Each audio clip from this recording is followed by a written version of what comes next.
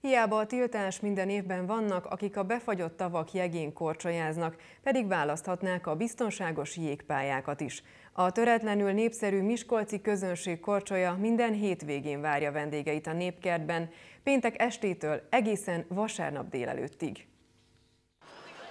Az első találkozás a jéggel.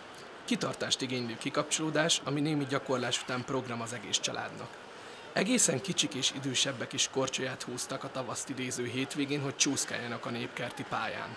Ezt két éve ezelőtt kezdtük, amikor a kislányom négy éves volt, és el, elkezdte kint a korcsolyasulit, és azóta járunk. Hát nyarant, amikor van a tábor, meg ilyenkor télen majdnem minden hétvégén, amikor csak lehet. A Miskolci közönség korcsolya évek óta az egyik legnépszerűbb téli szabadidős program a városban. Ebben az évben most vagyok először itt. Tulajdonképpen nagyon szeretek korcsolyázni, de sajnos ritkán van rá lehetőségem de most kihasználom ezt a jó alkalmat erre.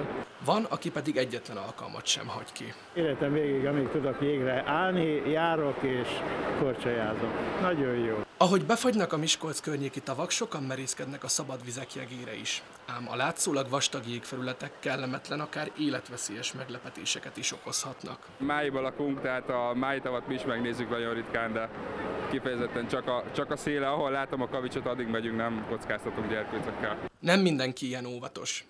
Közkedvelt hely a korcsolyázók számára a Hámorító is, amelynek átlagos mélysége 9 méter, így Magyarország legmélyebb tavai közé sorolhatjuk.